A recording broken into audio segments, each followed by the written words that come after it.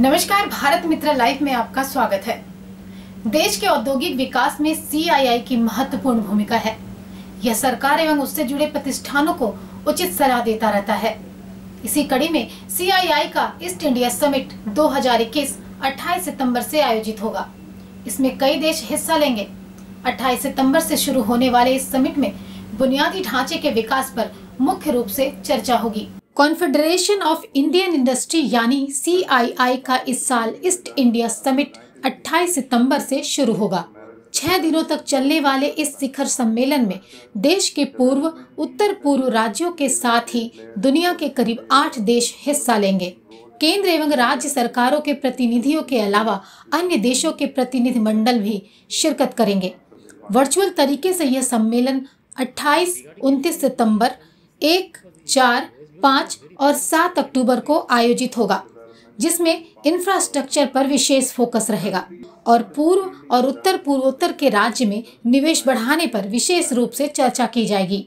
शुक्रवार को महानगर के एक पाँच सितारा होटल में आयोजित संवाददाता सम्मेलन में सीआईआई के ईस्टर्न रीजन के चेयरमैन विजय दीवान ने बताया कि port airport inland waterways future mobility इस समिट के केंद्र बिंदु होंगे। इन क्षेत्रों में अपार संभावनाओं एवं निवेश आकर्षित करने पर चर्चा होगी। ये 28 सितंबर को शुरू होगा और 7 अक्टूबर को खत्म होगा। इसके अंदर जो है लगभग आठ कंट्रीज़ पार्टिसिपेट कर रहे हैं और सारे ईस्ट एंड नॉर्थ ईस्ट के स्टेट्स जो हैं कंबाइंड वे में पार्टिसिपेट कर रहे हैं। तो इसका इनाग्रल सेशन 28 सितंबर को होगा करीब डेढ़ बजे शुरू होगा और शाम को सात बजे। लगभग उसके बाद रेस्ट ऑफ़ द डेज़ भी ये समझ चलता रहेगा इसमें आठ कंट्रीज़ इसमें भाग ले रहे हैं, जिसमें से यूनाइटेड किंगडम मतलब ग्रेट ब्रिटेन उसके बाद यूनाइटेड स्टेट्स ऑफ़ अमेरिका है फ्रांस है, उसके बाद इसमें पार्टिसिपेशन जापान का है कोरिया का है बांग्लादेश और नेपाल का पार्टिसिपेशन है। और भी कंट्रीज़ जो हैं, इसको अटेंड करेंगे बट इन लोगों का मेन पार्टिसिपेशन आठ कंट्रीज़ इसमें पार्टिसिपेट कर रहे हैं। और बहुत सारे मल्टीलैटरल एजेंसीज इसमें पार्टिसिपेट कर रहे हैं, जैसे कि एडीबी बैंक पार्टिसिपेट कर रहा है जीका जो जापान की मेन एजेंसी है, वो पार्टिसिपेट कर रही है क्वार्टरा पार्टिसिपेट कर रहा है कोरिया की मेन एजेंसी है, वो पार्टिसिपेट कर रही है। तो बहुत ज़्यादा फोकस रहेगा इस समिट का इंफ्रास्ट्रक्चर के ऊपर ईस्ट और नॉर्थ ईस्ट में इन्वेस्टमेंट लाने का फोकस है मेन फोकस रहेगा कि इन्वेस्टमेंट कैसे ईस्ट में आए, जिससे ईस्ट में अपनी ज़्यादा उन्नति हो जैसे कि सब जगह हो रही है होनी चाहिए। इसमें इंफ्रास्ट्रक्चर में जो फोकस रहेगा, उसमें फोकस रहेगा पहले पोर्ट्स के ऊपर। क्योंकि डीप सी पोर्ट की बहुत बड़ी रिक्वायरमेंट है ईस्ट में। डेफिनेटली एक और डीप सी पोर्ट चाहिए हमको यहाँ पे, और वेस्ट बंगाल में भी चाहिए, और वेस्ट बंगाल में इसकी अनाउंसमेंट भी हुई है।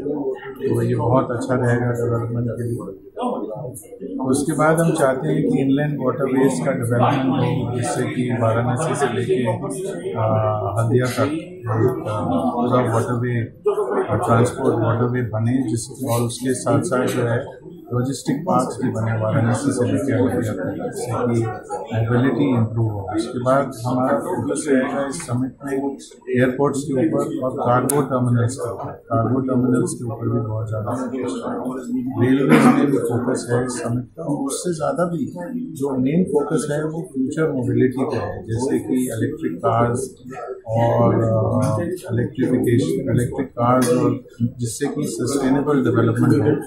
और हमारा जो रिलायंस है ऑन ऑयल वो कम हो उसके ऊपर हम लोग का फोकस रहेगा फ्यूचर मोबिलिटी के ऊपर। और पूरा जो इंफ्रास्ट्रक्चर डेवलपमेंट के लिए चाहिए पर्टिकुलरली ये जो ई मोबिलिटी के लिए उसका डेवलपमेंट होगा जैसे कि सारे ईस्ट और नॉर्थ ईस्ट में सारे जगह में चार, चार्जिंग स्टेशन बन जाएँ। और ईस्ट जो है इसमें एक अहम भूमिका और सबसे ऊपर ऊपर जा सके फ्यूचर मोबिलिटी में ये भी हमारा फोकस है पूर्व और पूर्वोत्तर के राज्यों में निवेश बढ़ाने से देश की अर्थव्यवस्था को रफ्तार दी जा सकती है। इस दिशा में सीआईआई का यह समिट क्या रंग लाता है, फ़िलहाल यह देखना बाकी है। कैमरामैन अनिंद के साथ सुनील शर्मा की रिपोर्ट। उम्मीद है इस शिखर सम्मेलन का उद्देश्य साकार होगा और पूर्व पूर्वोत्तर क्षेत्र में औद्योगिक विकास की गति मिलेगी। अब तक के लिए इतना ही। देश और दुनिया की तमाम खबरों के लिए देखते रहिए भारत मित्र लाइव।